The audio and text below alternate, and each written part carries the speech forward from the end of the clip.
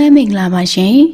K Entertainment Channel လေးကိုအချိန်ပေးပြီးတော့အားပေးနားဆင်နေကြတဲ့ပရိသတ်များရှင်ကျမတို့ရဲ့ K Entertainment Channel လေးကနေဒီနေ့မှာပရိသတ်တွေကဖုံးကျွယ်ရေးသားထားတဲ့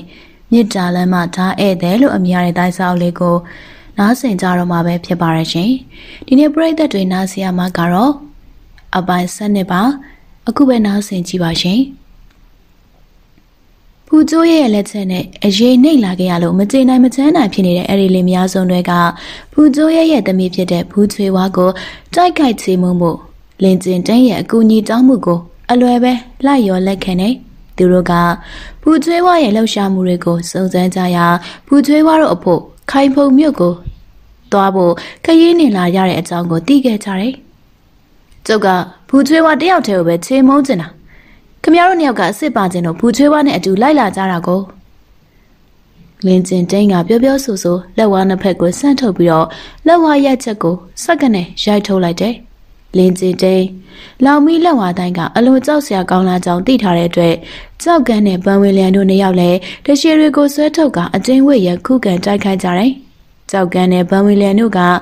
လင်ကျင်တန်ရဲ့တိုက်ခိုက်မှုကိုကြံ့ကြံ့ခံနေနိုင်ကြပေမဲ့လည်းတကိုယ်လုံးချွေးပြိုက်ပြကြအောင်တော့ အပူလိုင်းရိုက်ခတ်မှုတန်းကိုခံနေကြရတယ်။အတွင်အားအစဉ်ပိုးနှိမ့်တဲ့ဘန်ဝေလန်ကကြောက်ကန်းထက်ပိုပြီးတော့အခင်ရဆိုတယ်။ဘန်ဝေလန်ကအသက်ရှူဖို့တောင်မဝနိုင်ပဲကောင်းထဲမှာလည်းမူးနောက်နောက်ဖြစ်လာတယ်။ဘန်ဝေလန်နောက်ဆုတ်ပြီးတော့နားလိုက်အောင်။အဲ့ဒီအချိန်မှာတသက်ကြီးကြောက်ကန်းကညာလက်မှာတရှိဘဲလက်မှာကြာပုရှေကန်ဆောင်ကလင်ကျင်တိန်ကိုရင်ဆိုင်တိုက်ခိုက်နေတယ်။မကြမီမှာပဲဘန်ဝေလန်ကအမောဖြေပြီးလို့ ဓာဆွဲကတိုက်ပွဲရဲဝင်လာပြန်တယ်။လင်ကျင်တဲ့ရဲ့ပြင်းထန်ကျန်းတဲ့တိုက်ခိုက်မှုကြောင့်ဘွယ်ဝင်လန်းကနောက်ကိုစုပ်ပေးလိုက်ရလေတော့တယ်။တကူလုံးမိခင်ထားသလိုအပူလိုင်းတန်ကိုခံနေရပေမဲ့လည်းဘွယ်ဝင်လန်းကအနားမီတော့ပဲအန်စိတ်ကတင်းလို့ခံနေတယ်။မလွယ်ပါလား။ဒီလိုသာတင်းတင်းမာမာတိုက်ခိုက်နေသူတို့ငါအနိုင်ရနိုင်တဲ့အတိုင်းအတွင်းအားတွေအများကြီးဆုံးရှုံးရလိမ့်မယ်။ အဲ့ဒီလိုစိတ်ပူပန်နေရတဲ့ကြားကပဲတိုက်ခိုက်မှုကိုမလျှော့ရအောင်အစွမ်းကုန်စူးစမ်းနေကြတယ်။တစ်ဖက်မှာလည်းဖူချွေးဝါကလင်မယားစုံတွေရဲ့ရှေ့နောက်ဝိုင်းညက်ပြီးတော့တိုက်ခိုက်နေမှုကိုအလူအလဲပဲခံနေရတယ်။ဖူချွေးဝါရဲ့အခြေအနေကကြောက်ကန်းတို့တက်တောင်ပို့ပြီးတော့စိုးနေတယ်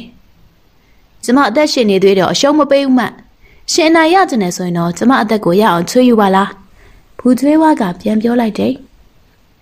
မန်တင်းကသာပြောလိုက်ရခြင်းဖြစ်ပေမဲ့ဖူချွေးဝါကအတော်ပဲအခြေရန်လျက်ရှိနေလေပြီ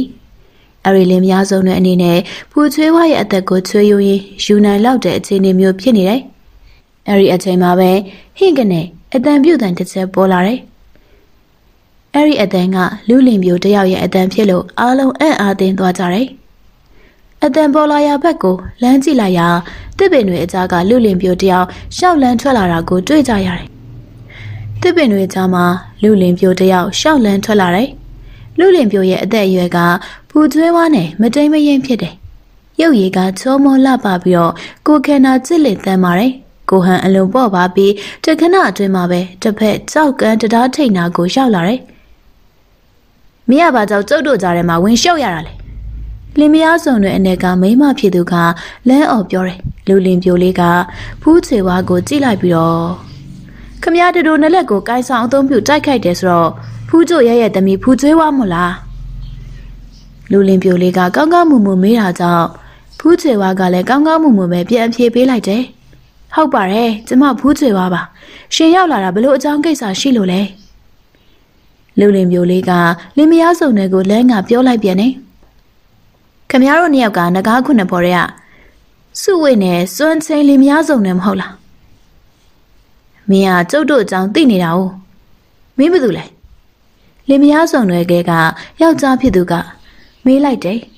ခမရတို့နဲ့ပိုးကျူထောင်းတို့ကတဖွဲ့တယ်လားလူလင်ပြိုကမေးလိုက်ပြန်တယ်ပိုးကျူထောင်းဆိုတာဘာတူလဲကျုပ်တို့မသိဘူးကြားလည်းမကြားဘူး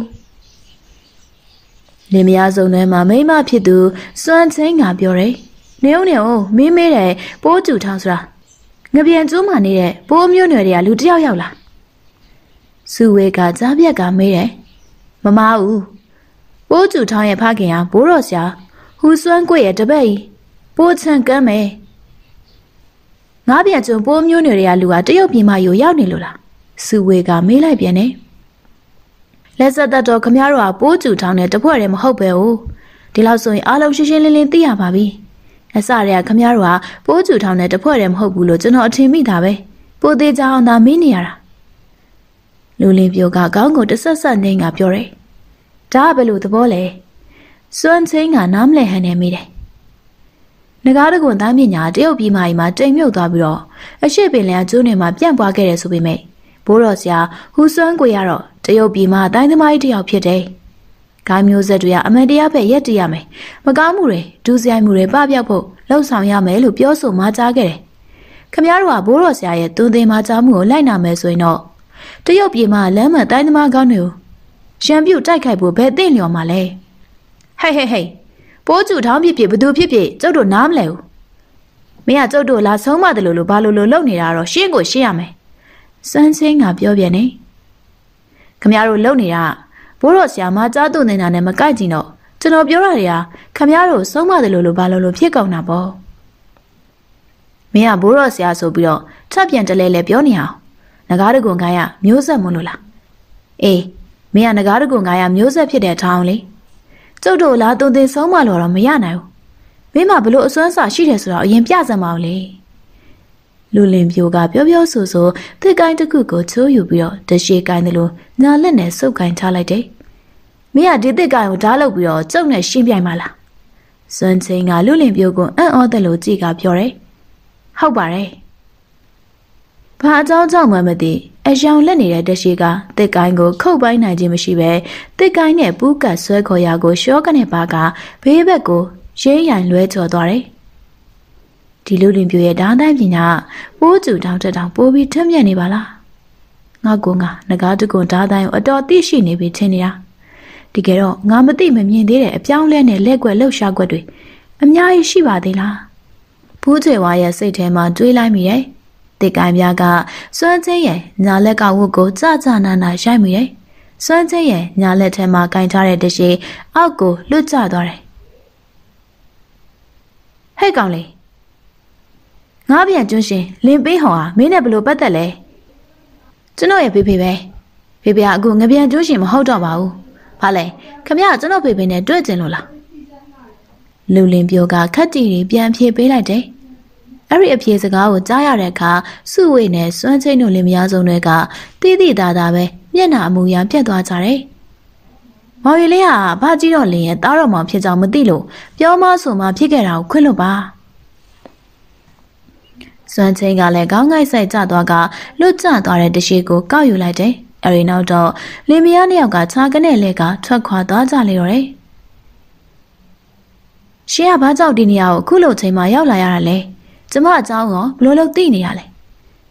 ကျွန်တော်ဖေကခမရဲ့ဖခင်ကြီးဖူကျိုးရဲ့ကိုတိတ်ကိုလေးစားချင်းမွန်းတာပဲတခင်မတယောက်ပေါ်ပေါက်ခဲ့တဲ့တားပညာရှင်တယောက်လိုအမြဲပဲပြောဆိုခဲ့ပါတယ်ငကားတကွန်ကားရတားနှမတွေကခမရဲ့ဖခင်ကိုရန်ပြုတ်တိုက်ခိုက်ခဲ့ကြတဲ့အကြောင်းကျွန်တော်ဖေဖေကြားသိရပြီးတော့အတော့ကိုစိတ်ဆိုးနေတယ်ခမရဖခင်ကိုတိုက်ခိုက်ရန်ပြုတဲ့ငကားတကွန်ကိုင်းသားတွေထဲမှာပိုးကျူထောင်ပါဝင်တယ်မပါဝင်ဘူးဆိုတာတော့တည်တည်ချာချာမသိခဲ့ဘူး ဒါကြောင့်ကျွန်တော်ကပိုးကျူထောင်ရဲ့လှုပ်ရှားမှုကိုစုံစမ်းရအောင်ထွက်လာခဲ့တာပါ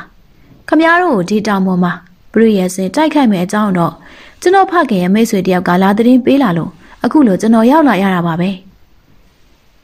ရှင့်နာမည်နဲ့ဘယ်ရရဒေတာလဲဆိုတာကိုပြောပြနိုင်မယ်ဆိုရင်သိပြရစေကျွန်တော်နာမည်ကလင်ချန်းဟောက်လို့ခေါ်ပါတယ်အရင်တော့ငပြန်ကျွန်းမှာနေပါတယ်ပိုးကျူတောင်ကကျွန်တော်အကူတော်ဝမ်းခွဲပါ ရှင်းကဘလို့လုပ်ပြီးတော့တရုတ်ပြည်မကြီးကိုရောက်လာရတာလဲ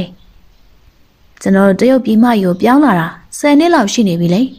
ဒီ10နှစ်တာချိန်တွင်းမှာပိုးကျူချောင်းတကားမှမဆုံတွေ့ရသေးဘူးအခုနေပိုးကျူထောင်းတွေ့ရရင်မှတ်တောင်မမိပါမလားမသိဘူး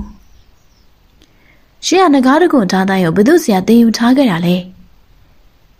ကျွန်တော်မိမိကပိုးကျူထောင်းရဲ့အတော်ပဲလေဘာကြီးတော့ပိုးချက်လန်းကနေ မမေကိုတင်ပေးပြီးတော့ကျွန်တော်ကမမေစီကတဆင်တင်ယူခဲ့တာပါရှင်တို့ကငပြန်ကျွန်းမှာဘာကြောင့်မနေရလဲတရုတ်ပြည်မကြီးကိုဘာလို့ပြောင်းလာကြတာလဲနေချက်သမားမန်ကျူးတွေရောက်လာပြီးတော့ငပြန်ကျွန်းကိုတိုက်ခိုက်သိမ်းပိုက်လိုက်ကြတာကြောင့်တိုင်းသဘာသားလက်အောက်မှာမနေခြင်းနဲ့ဖေဖေကမိသားစုကိုပါခေါ်ပြီးတော့တရုတ်ပြည်မကိုပြောင်းလာခဲ့ကြတာပါဘိုးကျူထောင်းကရောရှင်တို့နဲ့အတူတူပါမလာဘူးလား။ "तू ကအရှိပင်လယ်မှာရှိတဲ့ကျွန်းငယ်လေးမှာ ငကားတကွန်ကားရဲ့မျိုးဆက်တွေရှိနေတယ်လို့သတင်းကြားရတာကြောင့်လဲ့လဲ့ရှာဖွေနေရလေ။ဒီတော့တရုတ်ပြည်မကြီးကိုဘယ်ပါလာနိုင်မှာလဲ။ရှင်တို့ကတရုတ်ပြည်မကြီးကိုရောက်နေတာ10နှစ်ကျော်ကြာတာတောင်မှဘာဖြစ်လို့ငကားတကွန်ကားကိုပြန်မထူတော့မလှုပ်ရှားသေးရလဲ။ဖေဖေမေမေတို့ကတိုင်းလောကနဲ့မပတ်သက်ချင်တော့ဘူး။အဲဒါကြောင့်တရုတ်ပြည်မကြီးကိုပြန်ရောက်လာပြီးတဲ့နောက်တငါရွာလေးတွေ့ရမှာအေးအေးချမ်းချမ်းပဲအခြေချနေတယ်။ ဖေဖေတို့နဲ့အဆက်အသွယ်ပြုတ်နေတဲ့တိုင်းသမားဆိုလို့တယောက်တည်းပဲရှိတယ်။ဟုတ်လား။ရှင်တို့နဲ့အပေါင်းအသင်းပြုတ်နေတဲ့တိုင်းသမားဆိုတာရောဘယ်သူလဲ။ခင်ဗျားလဲကြားဘူးမှာပါ။သူ့နာမည်ကဝေရှောင်ကျင်းလို့ခေါ်တယ်။နာမည်ကြီးသားပညာရှင်တယောက်ပဲကြားဘူးပါတယ်။ဒီနေရာမှာကျမတို့ရန်သူကတိုက်ခိုက်မယ်လို့လာသတင်းပေးတဲ့ရှင်ဖခင်ရဲ့မိတ်ဆွေတယောက်ဆိုတာကဝေရှောင်ကျင်းမဟုတ်လား။ဟုတ်ပါတယ်။ ဝေရှောင်ကြီးဟာငကားခုနှစ်ပေါ်ရဲ့လှုပ်ရှားမှုတွေကိုဘယ်လိုလုပ်ပြီးသိပြီးတော့ရှင်းပြပေးစီကိုဘယ်လိုသတင်းဖို့အကြောင်းကြားတာလဲအဲဒီတော့လင်ချမ်းတောက်ကသူတို့မိသားစုစီကိုဝေရှောင်ချင်းရောက်လာပြီးတော့တည်င်းပေးအကြောင်းကြားခဲ့ပုံတွေကိုပြောပြတယ်။ရာသီဥတုသားရတဲ့နေ့တနေ့ဖြစ်တယ်။ဝေရှောင်ချင်းနဲ့ဇနီးတဲ့ချိုက်ဟူစွန်းတို့နှစ်ယောက်ကမြင်းကိုစီစီးပြီးတော့လို့ရံမျိုးကိုခရီးနေနေကြတယ်။ သူတို့နှစ်ယောက်ကနေချက်မန်ချူးတွေရဲ့ကျူးကျော်တိုက်ခိုက်မှုတွေကိုခုခံကာကွယ်နေတဲ့တပ်ဖွဲ့တွေကိုတဒတ်တအားပါဝင်ကူညီပေးနေကြသူတွေဖြစ်ပြီးအခုလည်းတည်င်းပို့ဖို့တာဝန်နဲ့လို့ရံမျိုးကိုသွားနေခြင်းဖြစ်တယ်။သူတို့ကသာအဲ့ဒီမြင်းတွေကိုရောင်းချင်တယ်ဆိုရင်ငါကလည်းအယောင်းဝယ်လုပ်ပေးဖို့အသင့်ပဲ။ဝေရှောင်ချင်းကရီမောကပြောဆိုလိုက်တယ်။သူတို့လေမယားနှစ်ယောက်ပြောဆိုနေကြဆဲမှာပဲအဲ့ဒီမြင်းစည်းသမားတွေကဝေရှောင်ချင်းတို့နဲ့နီးကပ်လုံလာကြတယ်။ ဝေဆောင်ချင်းတို့လည်းမရအဲ့ဒီမြင်းစည်းသမားတွေဖြတ်ကျော်သွားနိုင်စေဖို့မိမိတို့ရဲ့မြင်းတွေကိုဘေးကိုအသာတိတ်ရှောင်ဖယ်ရှားပေးချလိုက်ကြတယ်။ဒါပေမဲ့အဲ့ဒီမြင်းစည်းသမားခုနှစ်ယောက်ကဝေဆောင်ချင်းတို့လည်းမရကိုဖြတ်ကျော်သွားခြင်းမပြုကြပဲအပြေးဆိုင်လာတဲ့မြင်းတွေကိုအသာဆက်ဆွဲလို့ခက်မှန်မှန်သာဆက်စီးနေတယ်။အဲ့ဒီလူစုဘယ်လိုဆက်လက်လှုပ်ရှားလာမှာကိုသာဝေဆောင်ချင်းတို့စောင့်ကြည့်နေတယ်။လူရှင်းတဲ့နေရာတစ်ခုကိုရောက်တဲ့အခါ အဲ့ဒီမြင်းစည်းသမားခုနှစ်ယောက်ကလူစုခွဲကလှုပ်ရှားပြီးဝေရှောင်ကျင်းနဲ့စိုက်ဟူစွမ်းတို့နှစ်ယောက်ကိုဝိုင်းရံလိုက်ကြလေတယ်။မိတ်ဆွေတို့လူမားနေကြပြီနဲ့တူတယ်။လက်ဆက်သက်တော်ကျုပ်ကလူမားနေမိရအောင်ခမရတို့ကတိတ်ငက်ကြီးတွေပဲလေ။ကျုပ်ကိုလာရဲမှုမှာပေါ့။ဝေရှောင်ကျင်းကပြောလိုက်တယ်။ဒီလိုအတဲ့ကိုစော်ကားလိုက်လား။ဦးရောကြောင့်ကျမတို့ဘာကြောင့်များစောက်ဆိုင်အချိန်ဖြုံးနေရမှာလဲ။ဒီလောက်နှုတ်ဆွာနေရလို့တိုက်ခိုက်နှုတ်ပွေပြလိုက်ပြီးရောပေါ့။ ကျုပ်ဝေရှောက်ခြင်းကလည်းခမည်းတော်လိုနေချက်လက်ပါစေနောက်လိုက်ခွေးတွေကိုရင်ဆိုင်တုတ်တင်နေတာမနှဲတော့ဘူးအခုလည်းခရီးသွားရင်းနဲ့တွေ့ရပြန်ပြီကြိုက်တယ်လို့တက်ခဲ့ကြဟဲ့များများလာလေးလေးကျုပ်ကပိုးအားရလေပဲဟဲ့နေဦးနေဦးနေကြအောင်ငါတို့မှာတိတ်ခါရှိတယ်ဒီလူဘာပြောပြောဒေါပွားစိတ်ဆိုပြီးတော့ဟော့ရန်ရန်လှုပ်ဖို့မသိဘူးသူတယောက်တည်းကိုတိုက်ခိုက်ဖို့လူရအများကြီးထွက်လို့ဘယ်ကောင်းမှလဲ ဝေချောင်ချင်းရဲ့စိတ်ထဲမှာထူးဆန်းတယ်လို့လို့ထင်မိတာကြောင့်အရီလူစုဘလို့ဆက်လက်လှုပ်ဆောင်မကိုအသာအကဲခန့်ကန်းကြည့်နေတယ်။ဝေချောင်ချင်းကျုပ်တယောက်တည်းပဲထွက်ပြီးတော့ရင်ဆိုင်တိုက်ခိုက်မယ်။မုတ်ဆိတ်ရှိရှိနဲ့လူကဝေချောင်ချင်းကိုပြောလိုက်တယ်။ခမရတို့လေမယားနှစ်ယောက်ကကျုပ်ကိုအနာရအောင်တိုက်ခိုက်နိုင်နေဆိုရင်ကြီးကြီးကျယ်ကျယ်ရှောက်ပြောမနေနဲ့ခမရဘလောက်အစွမ်းစားရှိလို့ကျုပ်တို့လင်မယားနှစ်ယောက်နဲ့ရင်ဆိုင်မှုစိန်ခေါ်ရတာလေ မုတ်ဆေးရှိရှိနဲ့လူကပြုံးရီလိုက်ပြီးတော့ကောင်းပြီဒါဆိုရင်ခမည်းနဲ့ကျုံနဲ့ရင်ဆိုင်မယ်ပြီးတော့ခမည်းရဲ့ဇနီးကိုရင်ဆိုင်မှုအတွက်ကျုပ်တို့ဘက်ကအမျိုးသမီးတယောက်ထွက်မယ်မုတ်ဆေးရှိရှိနဲ့လူကပြောလိုက်ရာအသက်20လောက်ရှိတဲ့မိန်းမပြိုနောက်ပြန်ဆုတ်သွားပြီးအသက်40လောက်အမျိုးသမီးရှေ့တက်လာတယ်အဲဒီအမျိုးသမီးကစောစောကသိငဲ့ကြီးဆိုတဲ့အကြောင်းစူးစမ်းမင်းမြဲငဲ့တဲ့အမျိုးသမီးပဲဖြစ်တယ် ရှင်ပြိုင်တိုက်ခိုက်ကြမယ်လူလေးယောက်လုံးမြင်းတွေဘောကဆင်းလိုက်ကြတယ်။ထူထူထူပြောဆိုနေစရာမလိုပါဘူး။ကျုပ်အရေးနှိမ့်နေဆိုရင်ခေါင်းဖြတ်ခံမယ်။ဝေရှောင်ချင်းပြောလိုက်တဲ့စကားကမိမိလုံးဝအရေးမရှုံးနိုင်နိုင်လို့ဆိုလိုတဲ့သဘောပဲဖြစ်တယ်။ဒီလောက်လည်းမလိုပါဘူးလေ။ခမရအရေးရှုံးနေရင်ကျုပ်တို့နဲ့အတူတူမြောက်ပိုင်းစီသလိုလိုက်လာခဲ့ရုံပါပဲ။ မိမိကိုမြောက်ပိုင်းခြေသားကိုအတူခေါ်လိုတာကနေချက်မန်ချူးတွေလက်ကိုမိမိကိုအပ်လိုတဲ့သဘောဖြစ်ကြောင်းဝေရှောင်ကျင်းနားလည်လိုက်တယ်။ကောင်းပါပြီခမရတို့သဘောပါပဲခမရတို့အရေးနဲ့ရောဝေရှောင်ချင်းကမေးလိုက်တယ်ခမရကြိုက်တယ်လို့စင်ရင်လှုပ်ဆောင်နိုင်တယ်ကျုပ်ကလည်းများများစားစားကြီးမလှုပ်ချင်ပါဘူးခမရစီးရတဲ့မျိုးရရင်တော့ပါပြီဟုတ်ပါပြီရစိမ့်မယ် အဲ့ဒီအခါချိုင်ဟူဆွမ်းကလည်းမိမိနဲ့ရှင်ပြိုင်မဲ့အမျိုးသမီးကိုရှီမောကပြောဆိုလိုက်တယ်။လင်များဆိုတာရှေ့သွားနောက်လိုက်ညီရမယ်တဲ့။ကျမကလည်းဒီလိုပဲလောင်းကျစ်ပြူရမှာပေါ့။ရှင်အရင်နေရင်တော့ရှင်စီးထားတဲ့မြင်းကိုပေးရမယ်နော်။ချိုင်ဟူဆွမ်းကပြောပြောဆိုဆိုအဲ့ဒီအမျိုးသမီးကိုကြာဖို့နဲ့လဲရိုက်ပြီးတော့စတင်တိုက်ခိုက်လေတော့တယ်။ဟိုဘက်မှာကျောက်ရဲ့ဇနီးကအရင်လက်ဦးအောင်တိုက်ခိုက်နေရဆိုတော့ဒီဘက်ကကျောက်ကခမ ्या ကိုအရင်တိုက်ခိုက်ဖို့အခွင့်အလမ်းပေးပါတယ် ဝေရှောင်းချင်းကမုတ်ဆေးရှိရှိနဲ့လူကိုရီမောကပြောလိုက်တယ်။မုတ်ဆေးရှိရှိနဲ့လူကခေါင်းတစ်ချက်နှိပ်ပြပြီးကောင်းပြီ။ကျုပ်အရင်စမယ်။ကြားရောင်လက်ခဏဖြစ်ပြီးတော့အရီတရှိကဝေရှောင်းချင်းရှိရာကိုတန်းဝင်လာတယ်။ဟာဒီလိုအလှပြတိုက်ွက်မျိုးကဘာများသွားအတုံးကြမှာလဲ။တစ်ဖက်ကတရှိကိုပုတ်ထုတ်ဖဲရှားပြီးတဲ့နောက်တော့ဝေရှောင်းချင်းကိုရီမောကပြောလိုက်တယ်။ မုတ်စစ်ရှင်တဲ့လူကသူ့ရဲ့ဓာတ်တိုင်းပညာကိုဂုံယူမှန်းတက်နေသူဖြစ်ရာအခုဝေရှောင်ချင်းကသူ့ရဲ့ဓာတ်ချက်တွေကိုအကွက်စစ်စစ်နဲ့ခုခံကာကွယ်နေနိုင်တာကိုတွေ့ရတဲ့အခါအတော်ပဲထိတ်လန့်သွားမိတယ်။ဝေရှောင်ချင်းကိုလည်းစိတ်ထဲမှာကြိတ်ပြီးချင်းမိုးမိတယ်။မုတ်စိန်ရှိရှင်တဲ့လူထိတ်လန့်တယ်လို့ဝေရှောင်ချင်းကလည်းအံ့ဩနေရတယ်။ဒီလူရဲ့ဓာတ်ခွက်တွေကတကယ်ကိုဆဲပြတယ်။တရုတ်ပြည်မှာတိုင်းလောကရဲ့ဓာတ်တိုင်းခွက်တွေနဲ့မတူဘူး။စမ်းကြပြီးအကွက်တွေကလည်းစိတာဆိုတော့ ငါအနေနဲ့ခုခံမှုသာပြုပြီးတံပြန်တိုက်စစ်မစင်နိုင်တော့နောက်ဆုံးမှာအရှုံးနဲ့ရင်ဆိုင်ရဖို့များတယ်။နောက်ထပ်တိုင်းကွယ်20ကျော်တိုက်ခိုက်ပြီးချိန်မှာမုတ်ဆိတ်ရှင်တဲ့လူရဲ့အသာစီးရထားမှုအနေထားကတဖြည်းဖြည်းပြက်ပြားသွားတယ်။ဝေဆောင်တင်းရဲ့ပြင်းထန်သွက်လက်ပြီးအင်အားပြင်းထန်လာတဲ့ဓာတ်ချက်ကြောင့်မုတ်ဆိတ်ရှင်ရှင်တဲ့လူကအလိုအလောက်ပဲနောက်ဆုတ်ပေးလိုက်ရတယ်။တစ်ဖက်မှာခြိုက်ဟူဆွမ်းကလည်းသူ့ရဲ့ပြိုင်မဲ့အမျိုးသမီးနဲ့အကျိတ်အနဲ့တိုက်ခိုက်နေတယ်။ ဂျာယိုဆွမ်းကလက်နက်ပုံပစ်ခတ်မှုမှာအလွန်အစွမ်းထက်မြက်တယ်။အဲ့ဒါအပြင်ကြာဖို့နဲ့တတူပူးရဲတိုက်ခိုက်မှုမှာလည်းနာမည်ကြီးဖြစ်တယ်။အဲ့ဒီအမျိုးသမီးကအသားကြီးတစ်ချက်ရလိုက်တာနဲ့စက်တိုက်ပဲတွက်လက်တဲ့ဓာတ်ချက်တွေနဲ့ဆင့်ငယ်ဆင့်ငယ်တိုက်ခိုက်လာပြန်တယ်။အဲ့ဒီအမျိုးသမီးသုံးဆွဲတိုက်ခိုက်တဲ့ဓာတ်ကွက်တွေမှာအချို့အခွက်တွေကတော့တရုတ်ပြည်မှာတိုင်းလောကကဓာတ်ကွက်တွေနဲ့တူတဲ့ရောက်ရှိပေမဲ့ဂျာယိုဆွမ်းကခြေရောင်မြေမားဖြစ်လေကုကန်ချေပြက်ရမှာ အကွက်တွေမားပြီးတော့အတော်ပဲအခြေအနေဆိုးနေတယ်။အဲ့ဒီအချိန်မှာပဲချာဦးဆွမ်းကဘယ်လက်မှာကင်ထားတဲ့တတူနဲ့အဲ့ဒီအမျိုးသမီးကိုလမ်းပစ်လိုက်တယ်။ရှေ့စွမ်းဓာအကုတ်အမျိုးသမီးကစကားကိုဆုံးအောင်မပြောနိုင်။ပါဇက်ကနာကျင်စွာအားကနဲ့អော်လိုက်မိတယ်။ချာဦးဆွမ်းကတတူကိုပြစ်လိုက်တဲ့အချိန်မှာနေမအတစင်းကိုပါဂျာနတ်ကထပ်ပစ်ခတ်လိုက်တယ်။ကဲဘသူလက်ကဒါလွတ်ကျသွားရတာလဲ။ချာဦးဆွမ်းကပိုင်ပိုင်နိုင်နိုင်မေးလိုက်တယ်။ စာယူစွာရဲ့တတူကသူကိုယ်တိုင်ပြစ်ခတ်လိုက်ခြင်းဖြစ်ပြီးမြေပြင်ပေါ်ကိုမကြမီအမိအရာပြန်ဖမ်းယူနိုင်ခဲ့တယ်။အဲဒီအမျိုးသမီးကတော့လက်ကိုနင်းမတ်အချိမိကလက်ထဲမှာစုပ်ကန်ထားတဲ့တရှိလက်လွတ်ကကျသွားခြင်းဖြစ်တယ်။အဲဒီအမျိုးသမီးရဲ့လက်ကတာလွတ်ထွက်သွားရတာကိုဘလို့မှနင်းချက်ထုတ်စရာမရှိ။အဲဒီအမျိုးသမီးရဲ့မျက်လုံးအပြူးသားနဲ့စိုက်ဟူစွမ်းကိုကြည့်နေတယ်။ဘာပြောရမှာကိုတော့မသိ။နင်းချက်ထုတ်ဖို့လဲစကစရှာလို့မရ။ မုတ်စိမ်မျိုးရှိရှိနဲ့လူကအတွေ့အကြုံအလွန်ကျွယ်ဝတယ်။ဝေရှောင်ချင်းတဲ့ရင်ဆိုင်ကတိုက်ခိုက်နေပေမဲ့မျက်လုံးကလေးဘက်လေးတန်းကိုမလွတ်တန်အကဲခတ်ကြည့်နေပြီးနားကတော့အရက်ရှိမျက်နှာကလှုပ်ရှားမှုတွေကိုနားထောင်နေတယ်။ချာဟူဆွမ်းကတတိုးနဲ့နင်းပန်းအပ်တွဲပြီးပြစ်ခတ်လိုက်တာကိုတွေ့ရနဲ့မိမိတို့ဘက်ကအမျိုးသမီးအရေးနဲ့ရှုံးရတော့မှကိုနားလည်လိုက်တယ်။မုတ်စိမ်မျိုးရှိရှိနဲ့လူကတရှိကို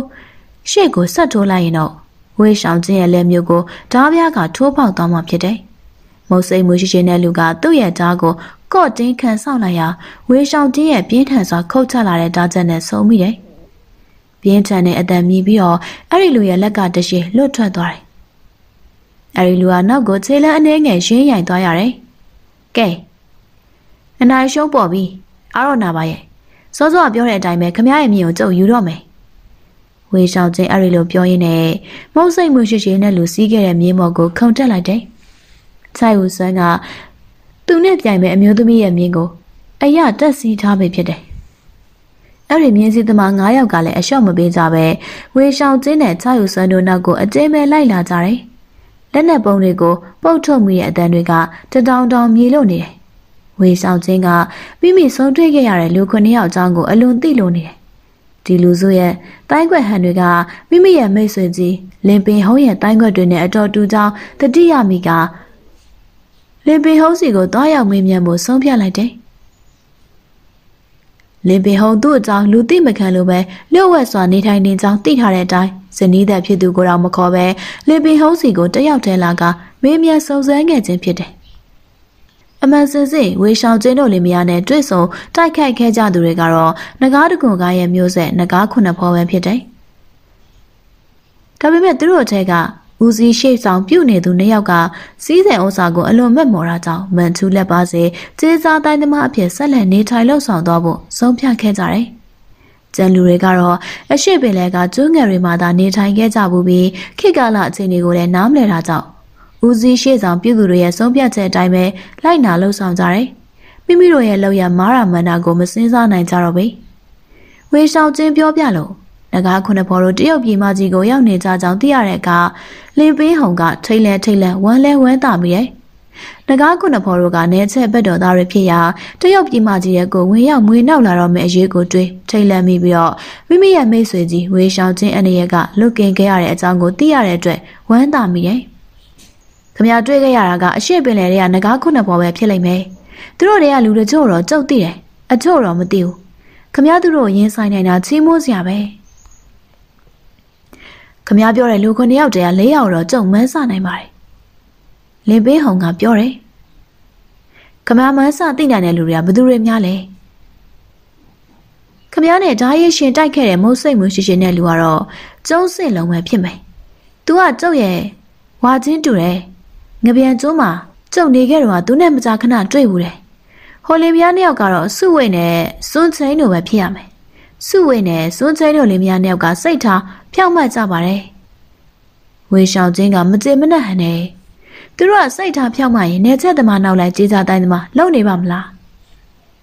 အရှိပင်လယ်မှာကျုံနေခဲ့တော့စုဝိတ်နဲ့စွန်းချင်းတို့လင်မယားက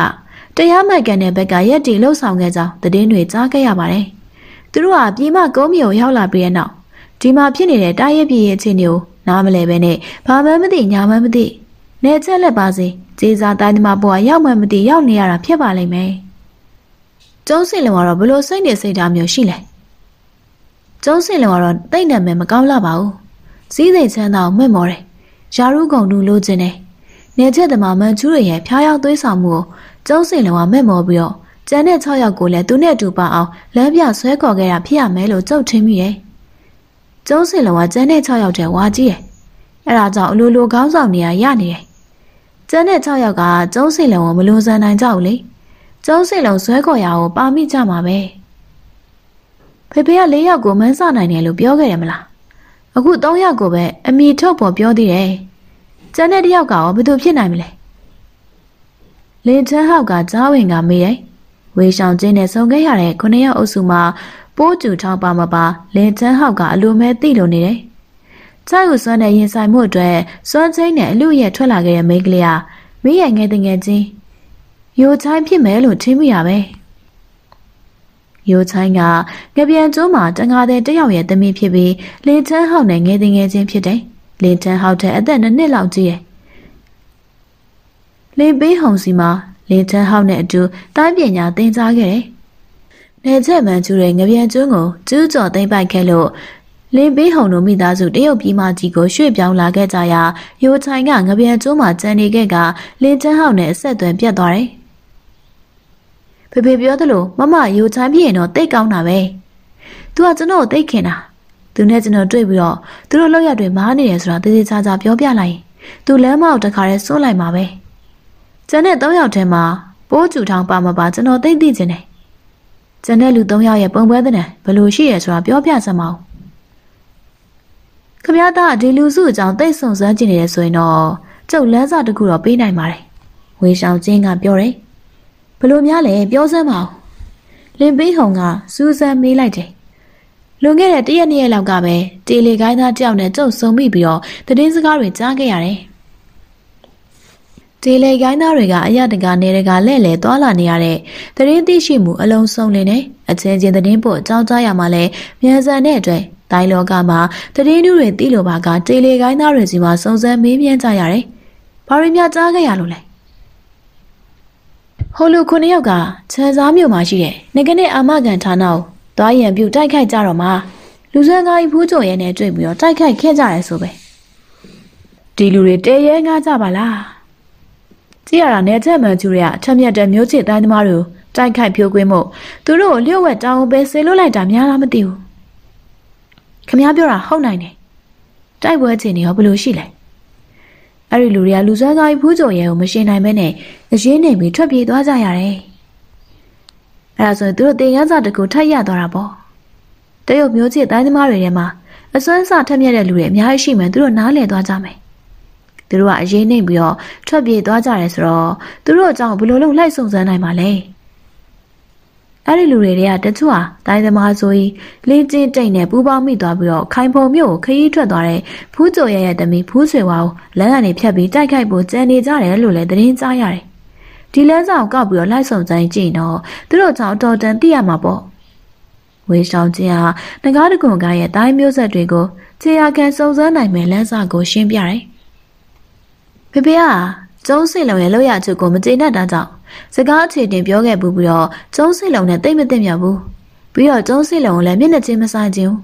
အဲအားကြောင့်ဝေရှောင်းချင်းပြောပြသွားတဲ့လမ်းစာအတိုင်းကျွန်တော်လည်းလိုက်စုံစမ်းခဲ့တာလေအခုလိုခမ ्या တို့နဲ့လာဆုံတွေ့ကြတာပါပဲကျွန်တော်သိရတဲ့လောက်တော့အားလုံးပြောပြပြီးသွားပြီကျွန်တော်အကူငွယ်ပိုးကျူတောင်ကြောင်းသိပြရစီလားလင်ကျန်းဟောက်ကဘူးချေဝါကိုလမ်းကြည့်ပြီးပြောတယ်ရပါတယ် ရှင့်ကိုဝမ်းခွဲနဲ့ကျမနဲ့တွေးမိကြသေးတယ်လေဘူချေဝါကအဲ့ဒီလိုအစကြည့်ပြီးမိမိချက်ရမျိုးကထွက်အလာမှာလက်ခီးမှာပိုးကျူထောင်းနဲ့တွေ့ဆုံပြီးတိုင်းပညာဆွဲရင်ရှင်ပြိုင်ခဲ့ရပုံအကြောင်းနဲ့ပိုးကျူထောင်းကငကားတကွန်ကရဲ့တိုင်းမျိုးဆက်တွေကိုလိုက်လံစုံစမ်းရှာဖွေနေပုံအကြောင်းတွေကိုပြောပြလိုက်တယ်။ဒီသားဆိုကျွန်တော်ကိုဝမ်းခွဲကဟိုလူခုနှစ်ယောက်နဲ့ဘလို့မှမပတ်သက်တော့ဘူးပေါ့။ ဖူးချွေဝါကအဲ့ဒီလိုအစကြည့်ပြီးမိမိရဲ့ရဲ့မျိုးကထွက်လာမှလန်ကကြီးမှာပိုးကျူထောင်းနဲ့တွေ့ဆုံပြီးတော့တိုင်းပညာရှင်ပြိုင်ခဲ့ရပုံအကြောင်းနဲ့ဘိုးကျူထောင်းကငကားတခွန်ကားရဲ့တိုင်းမျိုးဆက်တွေကိုလိုက်လံရှာဖွေနေပုံအကြောင်းတွေကိုပြောပြလိုက်တယ်။ဒီတိုင်းဆိုရင်ကျွန်တော်ကိုဝမ်းခွေရဟိုလူခွန်ယောက်နဲ့ဘလို့မှမပတ်သက်တော့ဘူးပေါ့။ခုလိုကြားရတာဝမ်းသာတယ်ဗျာ။ကျွန်တော်ဖြင့်အကူဘိုးကျူထောင်းနေချက်လက်ပါစေ။စေစားတိုင်းမတယောက်ဖြစ်သွားမှာတိတ်ဆိုးရင်မရ။ကဲကျွန်တော်သွားလိုက်အောင်မယ်။ နောက်မှပြန်ဆောင်ကြတာပေါ့။ကိုကျင်ပေါင်းတို့တွေစောင့်မျှော်ပြီးတော့စိတ်ပြူနေကြလိမ့်မယ်။ကျမတို့စကန်းကိုပြန်ကြမှာဆိုလား။ဘူကျေဝါကရီလိုပြောရင်တောင်အောက်ကိုပြန်ဆင်းသွားတယ်။ကျတိကြီးကြောက်ကန်ကခေါင်းတစ်ချက်ရမ်းပြီးဗန်ဝီလန်တို့နဲ့အတူဘူကျေဝါတို့ရဲ့နောက်ကဆင်းလိုက်သွားရလေတော့တယ်။တောင်အောက်ကိုရောက်တဲ့အခါကိုကျင်ပေါင်းတို့လူစုစိုးရိမ်တကြီးစောင့်နေကြတာကိုတွေ့လိုက်ကြရလေတယ်။တောင်ပေါ်မှာအဟိတန်တွေတိုက်ခိုက်တဲ့တွေကြားရလို့ကျုပ်စိတ်ပူနေတာ။ တောင်ပေါ်ကိုလိုက်လာဖို့တောင်စဉ်းစားမိကြသေးတယ်။ဒါပေမဲ့ကျုပ်တို့ဒီမှာစောင့်ကြည့်နေဖို့တောင်းပေးထားတာကြောင့်တောင်ပေါ်ကိုမတက်ဘဲနဲ့တတိနဲ့နဲ့စောင့်နေကြတာပဲကိုကျင်ပေါင်းကစီးလို့ပြောတယ်တောင်ပေါ်မှာရန်သူအချို့နဲ့တွေ့ပြီးတော့တိုက်ခိုက်နေကြတာပါဘာမှမဖြစ်ပါဘူးကြောက်ကန်းကပြန်ပြောတယ်ဘယ်ကရန်သူတွေလဲအရီလိုနဲ့ကြောက်ကန်းကတောင်ပေါ်မှာတိုက်ခိုက်ခဲ့ရပြီးတဲ့နောက်တော့တွေ့ကြုံရတဲ့အဖြစ်အပျက်တွေကိုကိုကျင်ပေါင်းတို့ကိုပြောပြလိုက်တယ် သူတို့လူစုကနနက်စာစားတော့ပြီးတဲ့နောက်ခရီးဆက်ကထွက်လာခဲ့ကြတယ်ခရီးဆက်လာကြတဲ့ဖူးချွေဝါတို့လူစုဝန်ပလွေတောင်ကြားနယ်နေဝက်ခရီးကွာလန်းနယ်ကျင်းကျူးမြို့ကိုရောက်လာကြတယ်။ဖူးချွေဝါတို့လူစုကတဲခိုရိတ်တာတစ်ခုမှအခန်းတွေငားပြီးတော့တဲခိုနေထိုင်လိုက်ကြတယ်။ဒီမြို့ကနေနေဝက်ခရီးကွာဝေးတဲ့ဝန်ပလွေတောင်ကြားမှာအမျိုးသမီးတမရကြီးတယောက်တကူတော့နန်းလုံကြောက်ရန်ကတောင်းကျမ်းနေရလို့ကြုတ်တို့ကြတယ်။ အဲ့ဒါအမှန်မဲလား။စပွဲတို့လူငယ်လေးကခေါင်းညိတ်ပြပြီးတော့ဆရာကြီးတို့ကြားခဲ့တဲ့တဲ့ကအမှန်ပါပဲမင်းသိထားသလောက်ပြောပြစမ်းကွာနန်းလုံကြောက်ကဝန်ပလေတောင်ကြားရဲ့အင်းကြီးပတ်ဝန်းကျင်မှာလူရဲ့တိုက်ခိုက်တယ်လေဝန်ပလေတောင်ကြားကိုဖျက်ကျော်သွားတဲ့ခရီးသွားအုပ်စုတွေဆိုရင်နန်းလုံကြောက်ရဲ့လက်ချက်နဲ့လွတ်တာနေတယ်ဒါပေမဲ့ကျွန်တော်တို့မြို့တွေကိုတော့တခါမှလာရောက်မလူရဲ့မတိုက်ခိုက်ဘူးကျွန်တော်တို့မြို့ကိုဘေးမဲ့ပေးထားတဲ့သဘောပေါ့ အဲ့ဒါကြောင့်မြို့ထဲမှာအေးအေးချမ်းချမ်းရှိနေတာပါအဘိုးတန်ပစ္စည်းတွေပါလာတဲ့ကြောက်ကန်တို့ခရီးသွားအဖွဲ့ကိုနန်းလုံကြောက်ကလက်လွတ်ပေးမှာမဟုတ်ကြောက်ကန်တို့ခရီးသွားအုပ်စုကနန်းလုံကြောက်နဲ့ရင်ဆိုင်တိုးရမှာမလွယ်အဲ့ဒီလိုရင်ဆိုင်တိုးရရင်တော့ကြောက်ကန်းတို့အနေနဲ့နန်းလုံးကြောက်ကိုရင်ဆိုင်ခုခံနိုင်မှာမလားနောက်တနေ့မှာကြောက်ကန်းတို့အဖွဲ့ကငကနဲ့အလံတလူလူလွင့်လျက်ကျင်းကျူးမြို့ကထွက်လာခဲ့ကြတယ်။ ဝန်ပလွေတောင်ကြားဒေသမှာတောင်တန်းတောရန်တွေထူထပ်တယ်။လူနေအင်းချင်းတိတ်မတွေ့ရ။ဝန်ပလွေတောင်ကြားတဲ့ကိုချင်းနေရောက်ရှိပြီးအချိန်တော်ကြာတဲ့အထိဘာအနောက်ရှမ်းမှမတွေ့ရ။အဲ့ဒီအချိန်မှာပဲလက်နဲ့ပုံတကူအရှိန်ဟုန်ပြင်းစွာလွင့်ပြန်ပေါ်ထွက်လာတယ်။အရှိန်ပြင်းစွာလွင့်ပြန်ဝင်ရောက်လာတဲ့လက်နက်ပုံးကပစ္စည်းတွေတင်ထားတဲ့နေကနေအလံစိုက်ထူထားတဲ့မြင်းလက်အိမ်မှာစိုက်မိသွားတယ်။ အဲ့ဒီလက်နက်ပုံးက6လက်မှသာသာလောက်သာရှိတဲ့လက်ပစ်များတော်လေးဖြစ်တယ်။များတော်လေးမှာတင်းငယ်တဲ့ခေါင်းလောင်းလေးတွေပါရှိတယ်။လွင်ပြက်လာရမှာလေတိုးမှုကြောင့်ခေါင်းလောင်းလေးတွေလှုပ်ရှားပြီးအတန်မြည်သွားခြင်းဖြစ်တယ်။လက်နက်ပုံးကနာဘက်တောရမ်းနဲ့ထက်လာတာအဲ့ဒီမှာရန်သူရှိနေတယ်ကျတဲ့ကြီးကြောက်ကင်းကတော့မြင်းပေါ်မှာတည်ငြိမ်စွာရှိပြီးပတ်ဝန်းကျင်အခြေအနေကိုအကဲခတ်ကြည့်နေတယ်။ ဖူးချွေဝါနဲ့ကိုကျင်ပေါင်းတို့နှစ်ယောက်လည်းကြောက်ကန်းရဲ့နောက်နာမှာတည်တည်ငြိမ်ငြိမ်ပဲရှိနေကြတယ်။လူစိုးတမျှတွေမကြခင်ထွက်ပေါ်လာမှာပဲအားလုံးရင်ဆိုင်မှုအသင့်ရှိနေကြ။ကြောက်ကန်းကအမိတ်ပေးလိုက်တယ်။အခုတမျှတွေရောက်မလာခင်အချိန်ရှိအောင်ပြန်ပြေးကြရင်မကောင်းလား။အခုနေပြန်ပြေးရင်တမျှတွေရဲ့လက်ကနေလွတ်နိုင်ပါတယ်။တုံးချင်းတန်ကတုံတုံရီရီနဲ့ကြောက်ကန်းကိုပြောတယ်။ကျုပ်တို့ထွက်ပြေးလို့မရနိုင်တော့ဘူး။ကြောက်ကန်းကပြန်ပြောတယ်။ဟင် ဘာဖြစ်လို့လဲ။ဟုတ်ဟုတ်များတို့လေးနဲ့လမ်းပြစ်တာကျုပ်တို့တိုက်ခိုက်တော့မယ်လို့စိန်ခေါ်အချက်ပေးလိုက်ကြပဲ။ဒီတော့ကျုပ်တို့နောက်ပြန်ဆုတ်သွားလဲ။ဓမြရရဲ့လက်ကမလွတ်နိုင်တော့ဘူး။ဒီလိုဆိုရင်ကျုပ်တို့ကဒီနေရာမှာနေပြီးတော့ဓမြရလာတိုက်မှာကိုစောင့်နေကြရမှာပေါ့။ကြောက်ကန်းက